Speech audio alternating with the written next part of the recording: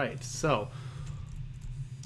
Oh yeah, Yurik's got the uh, the interesting take on Ixtun control. Mm. Yep, so we've got the Elysian Nightfall Maul deck versus similar to Lights Out Aces tournament winning deck, but it's a little bit different. It's a slightly different take on those. Um, both of these players, again, 2 1. Uh, this is a best of three, and the winner of this should very well make it into the top four. Yeah, and this is a this is a pretty unique take on Night Maul also. So definitely some innovation happening with Diana's side. Absolutely. This deck has been um, impressive the, uh, to me today. Definitely something that I have not seen on ladder recently, but definitely worth checking out. Yeah, it's looked good. I think the dazzles play really well into the deck's game plan. Um, and the uh, the market is also I've really liked this tidal forces. It had like it's just another like you were saying about Theo's deck how it gives more angles of attack. Um, I think that's something that Maul can benefit from given that it's pretty it's pretty one dimensional if you without that curse. Mm-hmm. All right, Yurik U's looking at uh, Crest, the Cobalt Waystone, an Honor of Claws, two Hailstorms, and Emergent. So sort of your typical hand. Uh, no Justice influence there, but also no Justice cards in hand. So see how that goes. Did Yurik go down to six? Did they did they go with the big brain play of redrawing to six on purpose? they may have. We'll have to follow up with a, a winner's interview later about that. if you happens to win the tournament. Absolutely. Well, he has done so in the past, so I'm sure he's feeling it. He was actually, I think Yurikyu was actually the first Tuesday Night Eternal winner ever. Um, has that? Well, he'll always have that title. uh, I would take any title I can get. it's pretty brave playing everything out into Hailstorm. Yeah And with two hailstorms in hand, I assume Yurikyu's just going to fire it off here. But do they not have? Oh, they do. They do. They drew a, a Sylex and they have the Waystone, so they can play out the Hailstorm here. That's gonna. Is that backbreaking for Diana? Oh, and then a dazzle off the top.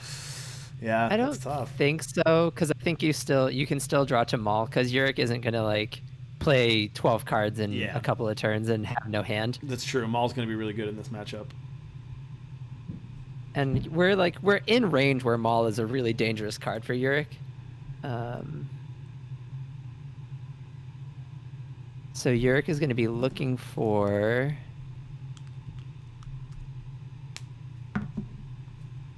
Waystones.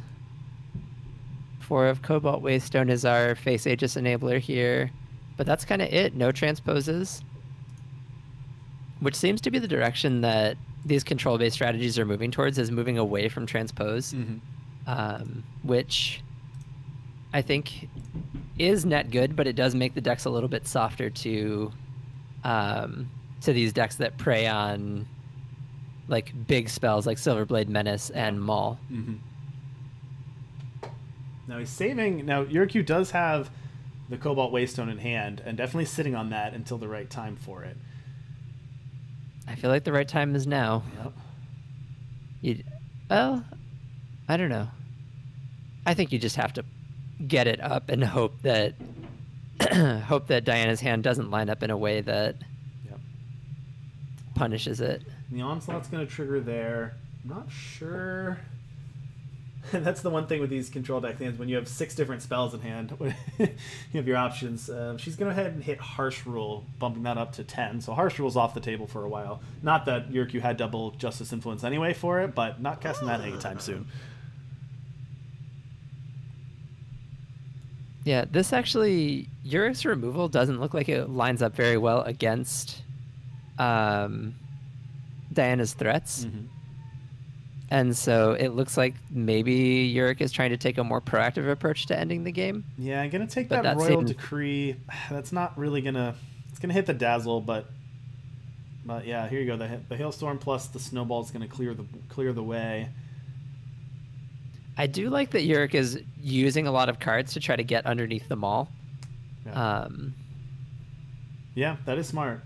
Dumping their hand as much as possible here we can be on the lookout for an equivocate to pop the Aegis mm-hmm. with uh, on a Maul for eight. Yeah. Like on turn eight.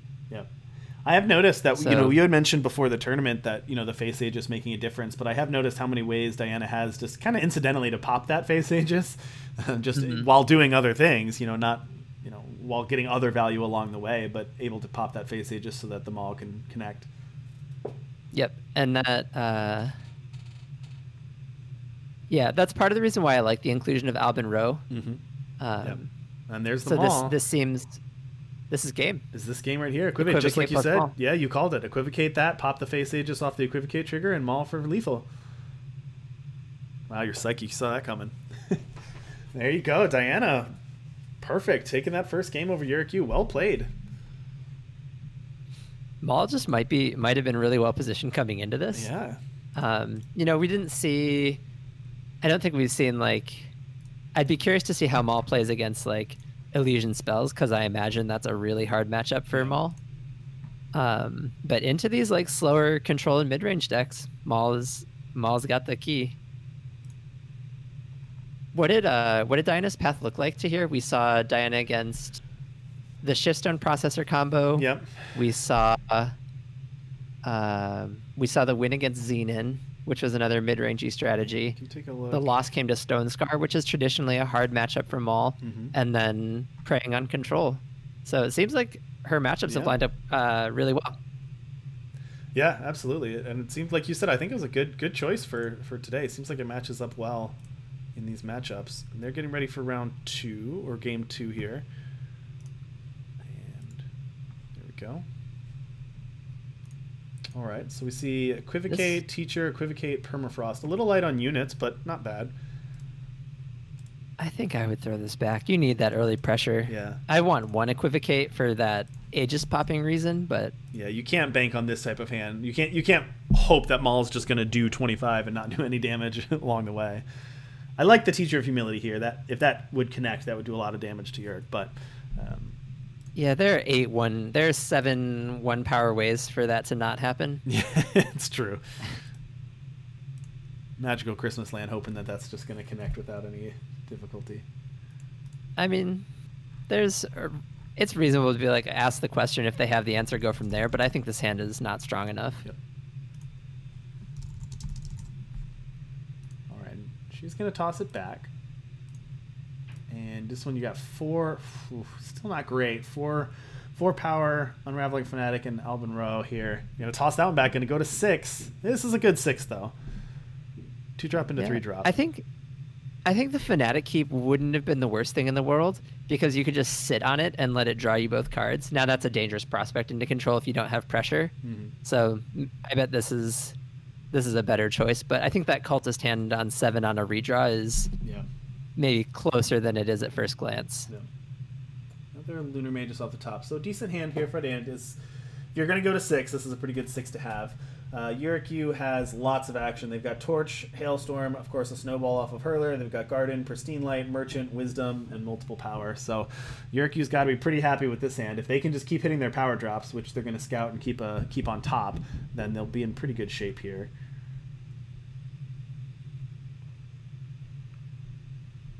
I like this power efficient turn from Diana. Yep, absolutely.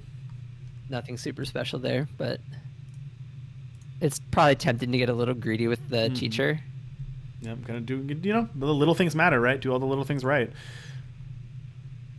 I have an update from across the board. IP Longo did win their match. So while 3 0, they actually are going to go 4 0 and, of course, lock up that number one spot there, um, which I believe. Stone Scar, not dead. Stone Scar not dead, absolutely. Uh, and I believe that should knock Stormguard out as well. Oh, this is really bad for Yurik. We go for the Hailstorm after the Snowball, and that's going to get dazzled from Diana, keeping that on top and allowing that teacher to hit. And that's going to be tough yeah, for that's like the dream. That's tough. Connection actually going to play out another teacher here. Now, Yurik can harsh rule. Um, although they have two. No, they do have a Waystone. I'd say they have two crests in hand, but they have a Waystone as well. Thank you, Parmelian has feet for hands for the follow. Hope you're enjoying the action. Hey, I know those guys. There you go. That that harsh rule will take care of those units, but we're in a similar position to last game, where now really Diana just needs to find a way to pop the face Aegis and then hit them all, and Yurik will be done for. But with neither of those cards in hand. That's also asking a lot. I think uh, I think if I'm Yurik, I would try to avoid playing a unit for the rest of this game so I can avoid the equivocate Yeah, as much as you can. and can. just cut off like make it be like an Albin Row plus because Mm-hmm. that's really hard to do Albin Row and Maul in the same turn because it's so expensive. And There's the Maul, but no way to pop the Aegis yet. Diana does not draw an equivocate. Oh, the Aegis passed. There you go. And there's the Maul.